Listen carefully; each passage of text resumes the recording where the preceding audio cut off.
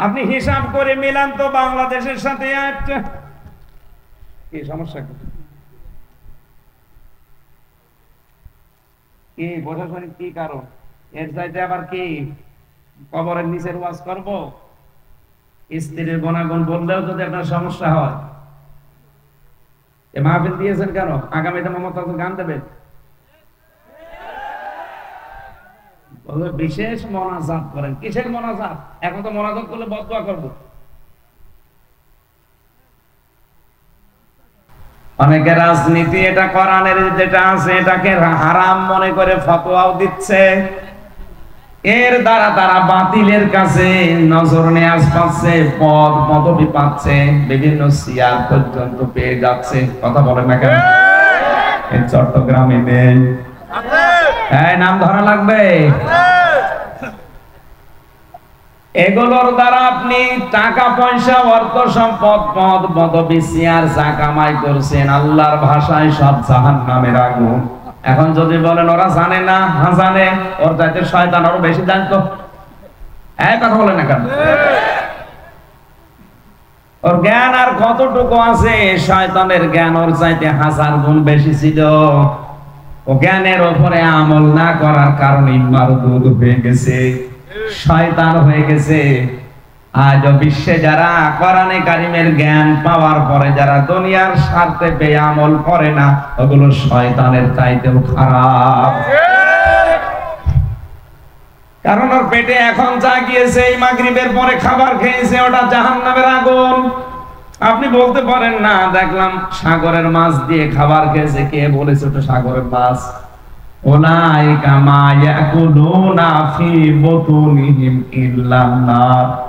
আল্লাহ বলেন, পেটে যা দিয়েছে আগুন ছাড়া আর কিছু না। আমি বানালাম। বলেন। আপনি যদি কথা শোনার পরে যদি আপনাকে শত্রু মনে করেন, আমাকে না, আপনাকে আমি বাঁচার জন্য বললাম। শয়তান আপনাকে দখল করে ফেলেছে, আপনি টের পাচ্ছেন না।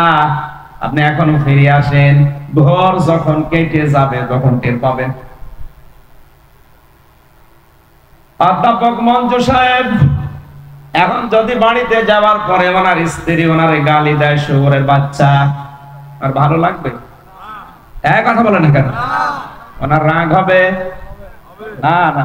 রাগ হবে মানে? রাগ হবে। ওনার যদি জ্ঞান থাকে, উনি চিন্তা করবে, আমার শিক্ষিতা বউ, ধার্মিক বউ, ভালো বংশের মেয়ে, কোনদিন আমার মুখের উপরে চোখ তুলে কথা বলে না। আর আজকে সালাম দেওয়ার পরে আমার কুকুরের বাচ্চা, শুকুরের বাচ্চা বলে গালি দিচ্ছে। অবশ্যই আমার বউরে ভূতে ধরেছে। এসে ধরেছে? এরে জিনে ধরেছে, ভূতে ধরেছে, পরিতে ধরেছে। তাছাড়া স্বাভাবিক থাকলে তো আমার গালি দেওয়ার কথা না। কোরআনের কথা শোনার পরে যার চরিত্রের সাথে মিলে যায়, এখন যদি লোকটা আল্লাহর উপরে রাগ না করে হামসার উপরে রাগ করে, বুঝতে হবে ওর স্বাভাবিক নেই, ওরে শয়তান দখল করে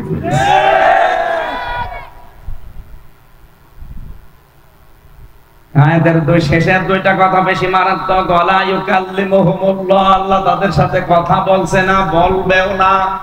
অথচ এই বাংলাদেশ বিশ্বে আজ যারা আল্লাহর কথাগুলো গোপন করে, ওই ভণ্ড বীরগুলো আজ আওয়াজ ছড়িয়েছে, আল্লাহর সাথে আমার কথা হয়। ঢাকাতে বহু দরবার আছে যে দরবার থেকে আওয়াজ পাওয়া যায় যে ওদের বীর সাহেব নাকি আল্লাহর সাথে ডাইরেক্ট কথা বলে। আল্লাহ বলেন, কোরআনের কথা গোপন করলে তার সাথে আমি কথা বলছি না, বলব না। তাদের পবিত্র করছি না করব না। তার মানে তাদেরকে জাহান নামের আগুন দিয়ে আমি আল্লাহ ঝালাই করব। জন্য যন্ত্রণাদায়ক শাস্তি রেডি করা আছে বলেন, নাউজুবিল্লাহ। আয়াত অনুযায়ী আমার যতটুকু বাস্তবতায় জ্ঞান আমি পেয়েছি আলেম শুধু নামের আগে মাওলানা মুফতি হাফেজ লেখা থাকলে আলেম হয় না। আলেম হওয়ার জন্য কমপক্ষে তিনটা গুণ থাকা লাগবে। কয়টা? বলেন বলেন। যে আলেম আল্লাহর কোরআন নিয়ে চিন্তা ভাবনা করে যে আলেম কবিরা গোনা থেকে নিজেকে সমর্থ থাকার পরও বাঁচিয়ে রাখে যে আলেম আল্লাহর এবাদতে নিজেকে নিয়োজিত রাখে। আপনি হিসাব করে বলেন, এই আলেম বাংলাদেশে এখন হাতে গোনা নেই। বিশাল সব বাগাই দিয়ে পাগড়ি মাথার উপরে ফেলে দিয়ে, রোমাল দিয়ে মনে হচ্ছে আসমান থেকে পালিয়ে এসেছে জিব্রাইলের ছোট ভাই। বলে, আমি দুনিয়াদারি কিচ্ছু বুঝি না। লা ইলাহা ইল্লাল্লাহ, কাউকে কিছু বলব না। এটা কি কালেমা নাকি? এটা একটা বিপ্লবাত্মক কথা। লা ইলাহা ইল্লাল্লাহ এই কথা যদি কেউ ঘোষণা দেয় এর বিপরীতে যারা আছে তাদের সাথে সংঘর্ষ বাঁধবে। মোহাম্মদ রসুল্লাহ কালেমার দাওয়াত দিয়ে তিনি শত্রু হয়েছিলেন জালেমদের। আর তার দাওয়াত যারা কবুল করেছে তারাও কিন্তু জালেমদের টার্গেট হয়েছিল। আজ আমরা অনেকেই কালেমার দাওয়াত দেই। যাদের কাছে দেয়, ওরাও বোঝে না, যে দেয়, সেও বোঝে না।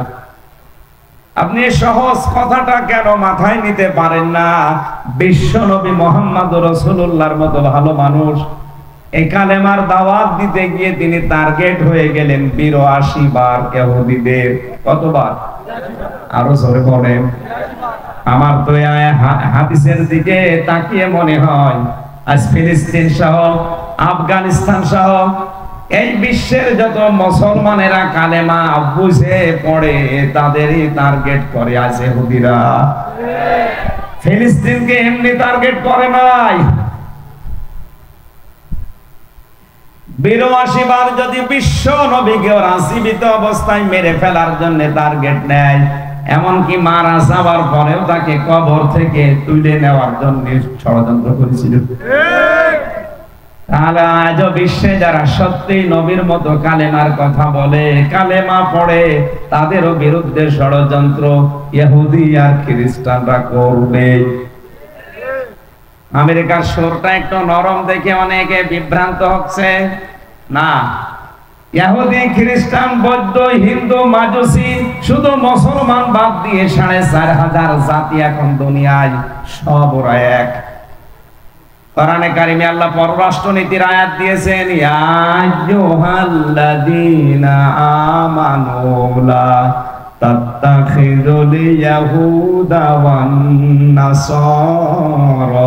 আউলিয়া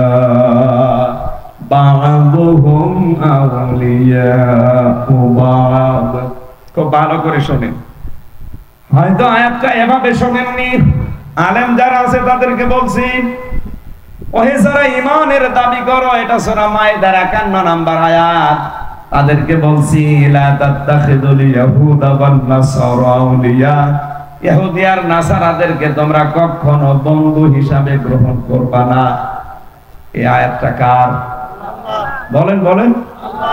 আয়াতের পরবর্তী শব্দ কি? বাদুহুম আউলিয়া বাদ। যখন তারা একে অপরের বন্ধু পররাষ্ট্রনীতির এই এমনিতে নাজিল করেন নাই। বিশ্বে টিকে থাকতে হলে, বিশ্বে চলতে হলে এটা একটা এবাদত এটা আপনার লাগবে। খ্রিস্টান, বৌদ্ধ, হিন্দু যারা আছে, তারা যদি একে অপরের বন্ধু হয়ে কাজ করে, তখন আর তাদের সাথে মিল, মহব্বত দিয়ে চলা যাবে না। আজ ইয়াহুদিরা, খ্রিস্টানদের বন্ধু খ্রিস্টানরা হিন্দুদের বন্ধু হিন্দুরা বৌদ্ধদের বন্ধু।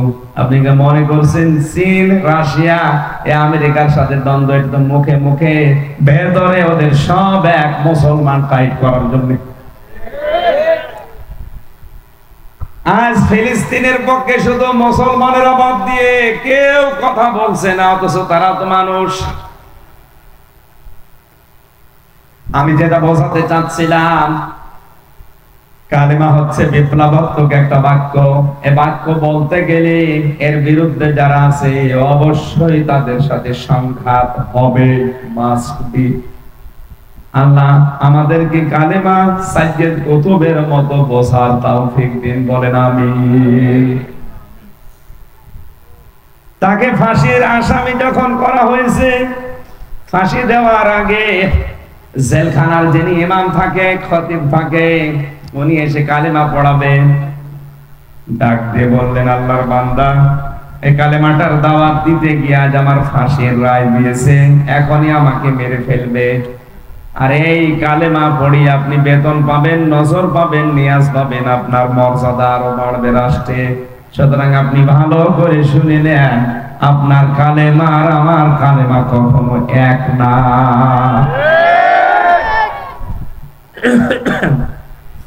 এদের আমি শেষে আলেমের মর্যাদা কামনা করি না, আমি আলেমদের মর্যাদা কামনা করি। ওই আলেম, সে আলেমদেরকে ইমাম তাইমিয়া রহমতুল্লাহ আলাইহি জানিয়েছেন, তিনটা জায়গায় পাওয়া যায়।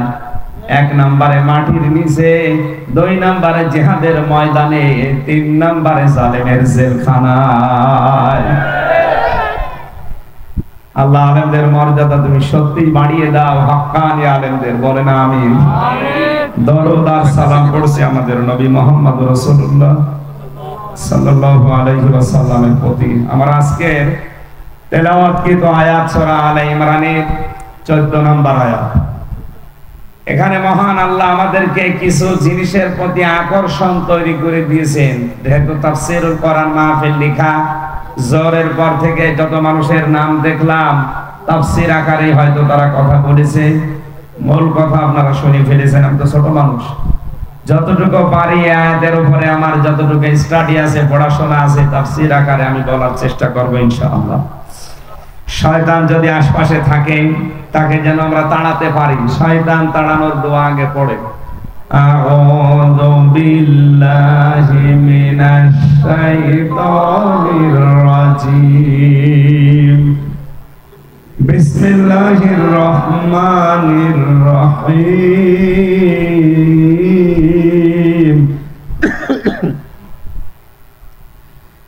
زين للناس حب الشهوات من النساء والبنين إلى آخر آية কোন সূরা যেন বললাম সূরা আলে ইমরান 200টা আয়াত আছে, মাত্র একটা আয়াত পড়েছি 14 নম্বর আয়াত। আটটা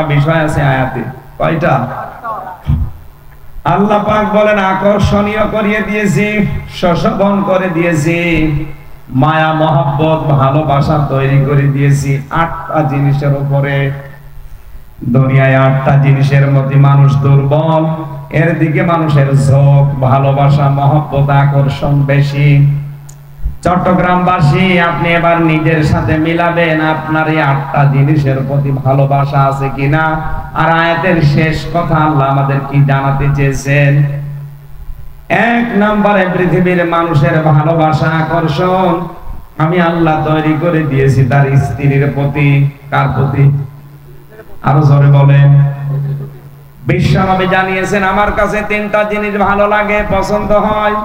এক নম্বরে সুগন্ধি, দুই নম্বরে নামাজ, আর তিন নম্বরে আমার নিজের স্ত্রী।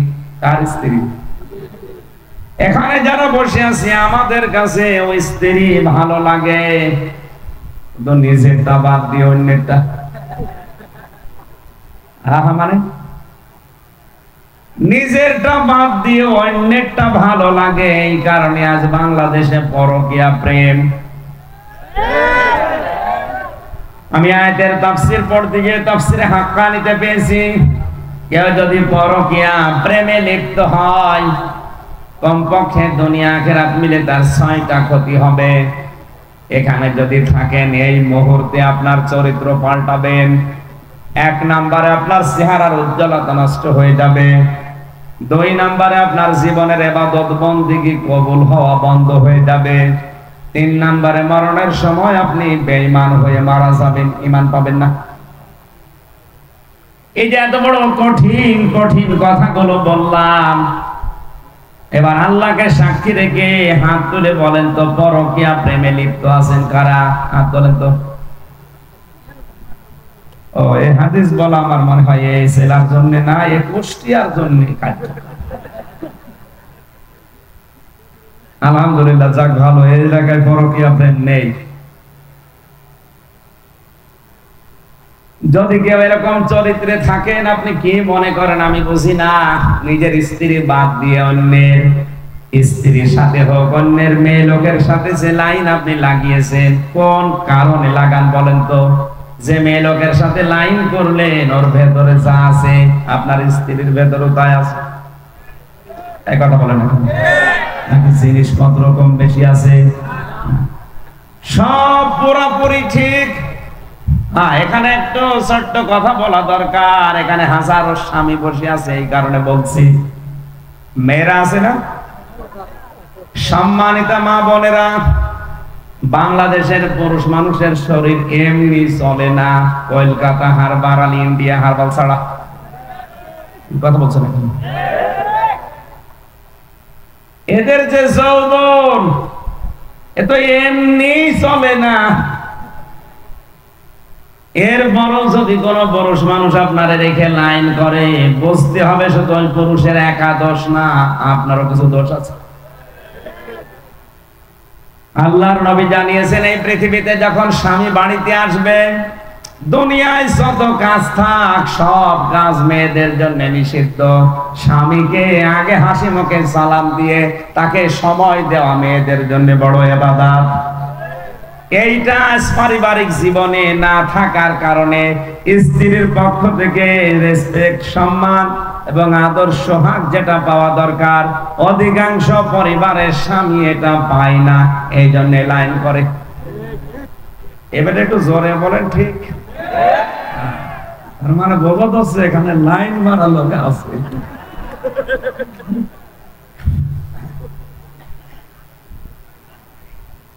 আল্লাহর নবী জানিয়েছেন পৃথিবীতে আমার কাছে স্ত্রী ভালো লাগতো, আমাদের কাছেও ভালো লাগছে। স্ত্রী তৈরি হওয়ার আগে যে চারটা বিষয় খেয়াল করা দরকার, এখানে অধিকাংশ মানুষগুলো খেয়াল করছি না। এই যে লোকটা বসে আছে বিয়ে করার পরে দশ বছর পার হয়ে গেছে। হয়তো এখন উনি বউ পাল্টাতে পারবে, কিন্তু সন্তান হয়ে গেছে দুই তিনটা। বলেন তো তারা তাদের মা পাল্টাতে পারবে? আরও আসতে বলেন এই জন্য উনি সহ যত মানুষ এখানে আমরা আছি, বিয়ে করার আগে অবশ্যই সন্তানের মা কে হবে তার গুণাগুণ চারটা দেখে নেওয়া দরকার। এক নম্বরে তার বংশ দেখতে হবে। দুই নম্বরে তার সৌন্দর্য, তিন নম্বরে তার সম্পদ, চার নম্বরে দেখা লাগবে আল্লাহওয়ালা দিনদারিত্ব। অথচ আজকে বাংলাদেশ সহ অধিকাংশ মুসলিম দেশে মুসলমানদের বিয়ে শুরু হয় হারাম কাজ দিয়ে। মেয়ে দেখতে যাচ্ছে ছেলের দোলা ভাই আর বাবা। যে বিয়ে করবে, যে ছাড়া দোলা ভাই আর বাবার জন্য দেখা ওই মেয়েকে যায় যাচ্ছে। আর আসতে বলে। অনেক জায়গায় দেখা যায় দোলা ভাই আর বাবা মিলে দেখতে গেছে। বাবার পছন্দ হয়ে গেছে, ছেলে বাদ নিজে বিয়ে করে ফেলিস আর ওই মেয়েটা কবুল বলার আগে তো বাবার জন্যও তা দোলা ভাইয়ের জন্যও তা, ওই ছেলের জন্যও তা। কথা বলেন না কেন? আপনি হারাম কাজ দিয়ে শুরু করলেন কোন কারণে? এরপর সন্তান জন্ম দেওয়ার সময় যেটা করা লাগে, ওইটা অধিকাংশ মানুষের আমার মনে হয় ওর দোয়ায় জানা নেই। রংপুরে এক মাহফিলে গিয়েছিলাম। এক মুরব্বী এসে বলছে, হুজুর, আসসালামু আলাইকুম। চেহারা দেখে তো মনে হচ্ছে অনেক বয়স। কি ছেলে মেয়ে আছে আপনার? যা কয়টা? নয়টা। নয়টা ছেলে মেয়ে হয়ে গেছে। দাদা বলে, আগে ডাকলাম, বললাম, দাদা, সন্তান জন্ম দেওয়ার সময় একটা দোয়া পড়া লাগে, একটু বলেন দেখি। বছর বছর দোয়া এখনও পড়া হয়নি। ও দোয়া এখনও পড়েননি, নয়টা জন্ম দিয়েছেন, আবার কবে পড়বে? অথচ ওই দোয়ার ভেতরে মারাত্মক দুইটা কথা আল্লাহকে বলা হয়। বিসমিল্লাহি। আমি আল্লাহর নামে আরম্ভ করছি আজকের বাসর রাত, আজকের এই সংসার। আল্লাহুম্মা জান্নিবেনা শাইতান ও জান্নিবিশ শাইতান মা রাযাকতানা। আমি এবং আমার স্ত্রী দুইজনে শয়তান থেকে আল্লাহর আশ্রয় চাই এবং আমাদেরকে রিজিক হিসাবে আল্লাহ তুমি যা দেবে সন্তান আদি, ওগুলো যেন শয়তান থেকে নিরাপদ থাকে, মুক্ত থাকে। এ দোয়াটা আপনি কি খেলা সুরা মনে করেন? নবীজি নিজে শিখিয়েছেন এটা। আজ আমাদের স্ত্রী গুলো যে চারটা গুণ দেখে বিয়ে করার দরকার ছিল, প্রথম তিনটা হয়তো অনেকেই দেখে হ্যাঁ বংশ দেখে, তার সৌন্দর্য দেখে, তার সম্পদ দেখে, চার নাম্বার যেটা না দেখলে হবেই না, সেইটা আমার দেখার ভেতরে নেই। এই জন্য অধিকাংশ পরিবারে আজ জান্নাতের কাঙ্ক্ষিত সুখ নেই। পরিবারগুলো আজ জাহান নামের অগ্নিকুণ্ডে, মনে হচ্ছে অগ্নিকুণ্ড জ্বলছে জাহান নামের আগুন জ্বলছে। এখানে একটা দোয়া শেখায় আমি স্বামী, প্রত্যেকের স্বামী যারা আছেন, তারা দোয়া করবেন, রব্বানা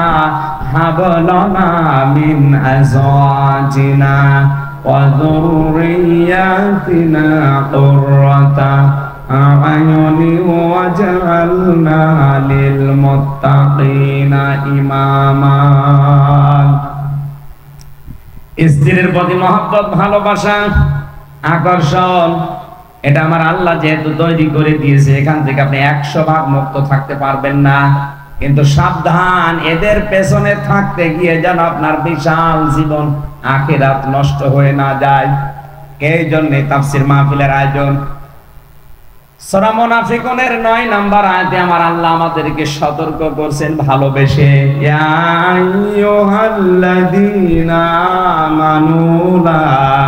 লা তুলহিকুম আমওয়ালুকুম ওয়ালা আওলাদুকুম আন যিকিরিল্লাহ ومن يفعل ذلك فأولئك هم الخاسرون ওহে যারা ইমানের দাবি করো আমি তাফসিরে আয়াতটা পড়তে গিয়ে দেখেছি অননব্বই বার কোরআনে আল্লাহ এই শব্দটা দিয়েছেন কতবার মুফাসসির লিখেছেন, আল্লাহ পাক যখন এই আয়াত দিয়ে মানুষকে ডাকেন, বিশেষ করে ইমানদারকে, তখন তার কুদরতি হাত এভাবে উঁচা করে ডাকেন, ইয়া আল্লাযিনা আমানু ধরে বলেন, সুবহানাল্লাহ। ডাক দেন, মায়া দিয়ে, মহাব্বত দিয়ে।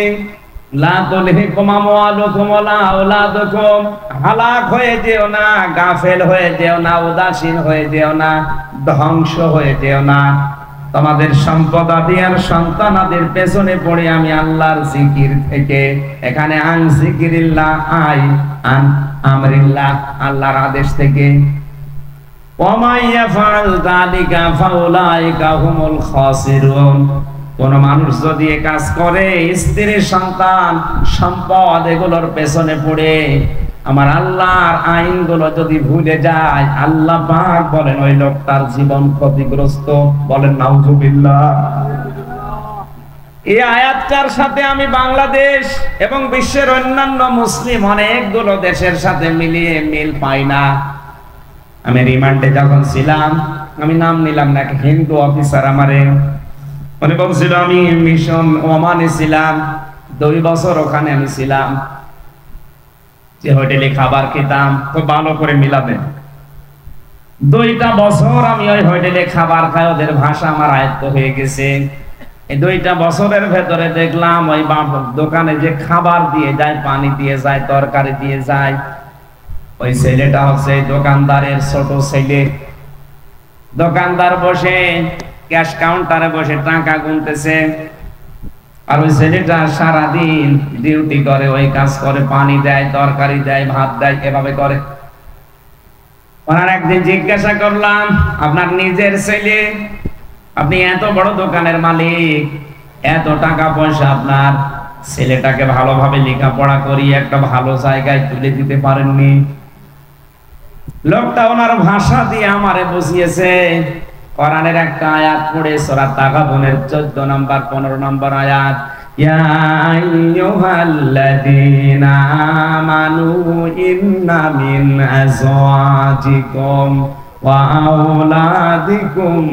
আদুওয়াল লাকুম ইলা আখিরি আয়াত। আমি সহ এখানে যত মানুষ বসে আছি, সবার জন্য ওই হিন্দু অফিসারের কথাটা মনের ভেতরে লাগবে, আপনি ভালো করে শুনেন। উনি আমারে বলছিলেন ওই যে, ওমানের ওই দোকানদার আমাকে বলছেন, আপনি কোন দেশে বাড়ি আমি জানি না। আপনি সাথীতে কি আমি তাও জানি না। কোরআনের যে আয়াত পড়লাম আপনি কি বুঝেছেন। হিন্দু বেটা, ওর কোরআনের অনেকগুলো আয়াত দেখলাম, ওর মুখস্থ আছে। আমি তো নিজে হাফেজ। ও যে সমস্ত আয়াতগুলো বলছিল, আমি থ হয়ে গেছি, রিমান্ডে কি বলে? হিন্দু মানুষ, আমার তো মনে হয় যতগুলো আয়াত আমার সামনে এই দশ দিন রিমান্ডে পড়েছে, ওর প্রায় দুই দিন পারা করার মুখস্থ হয়ে আছে। আমারে বলছে, হুজুর, এই দুয়াটা, এই আয়াতটা যখন পড়েছে, সোরা তাকাবনের চোদ্দ এবং পনেরো নম্বর আয়াত আমারে শোনালো। আমি তো বাংলায় পড়েছি। আমি বুঝে ফেলেছি, উনি আমার কি বলতে চায়? দোকানদার আমাকে বলতে চেয়েছে, হে আল্লাহর বান্দা, আল্লাহ পাক আমাকে কোরআনে কারিমে জানিয়েছে, অবশ্যই তোমাদের স্ত্রী, তোমাদের সন্তান, তোমাদের মাঝে মাঝে তোমাদের জন্য শত্রু হয়ে দাঁড়াবে, সুতরাং তাদের সম্পর্কে সতর্ক থাকবা। এটা আমার সন্তানের প্রতি আমার কিছু দায়িত্ব আছে। একে জন্ম দেওয়ার পরে আমি এর একটা সুন্দর নাম রেখেছি, আহমেদ আলী। কি নাম? এর নাম রেখেছি আহমেদ আলী। দুই নাম্বার একে যতটুকু পারি আমি দিনের শিক্ষা দিয়েছি। হ্যাঁ ইসলাম মানতে গিয়ে যতটুকু দিন জানা লাগে ও জানে। তিন নম্বর ওর একটা কর্মজীবন তৈরি করে দেওয়া দরকার, হালাল।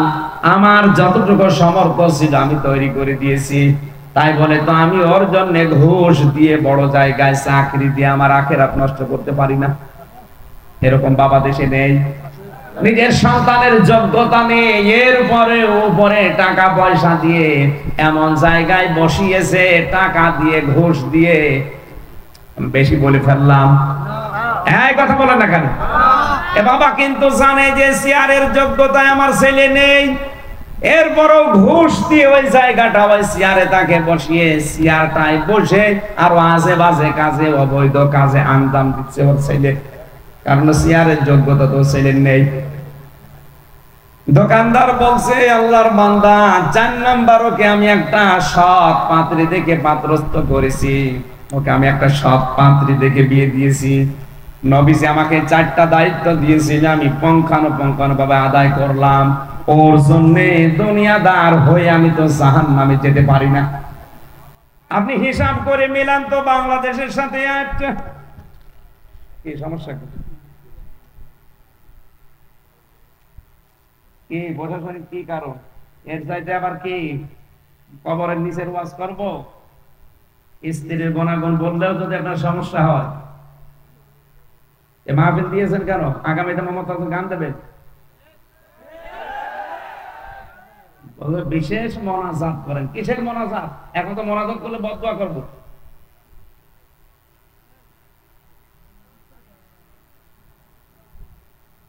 খেলা করার জন্য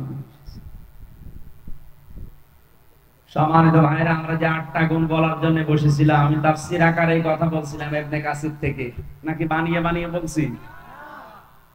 অন্যান্য দেশের মুসলিমদের সন্তানাদি আর স্ত্রীর প্রতি যে দায়িত্ব কোরআন দিয়ে তারা যেভাবে বুঝেছে, আমাদের ওইভাবে বোঝা সম্ভব হচ্ছে না। আমরা আকর্ষণীয় মনে করে তাদের কারণে আজ আখেরাত ধ্বংস করে ফেলছি। আল্লাহ আমাদেরকে সূরা আলে ইমরানের 14 নম্বর আয়াতটা বোঝার তৌফিক দিন না।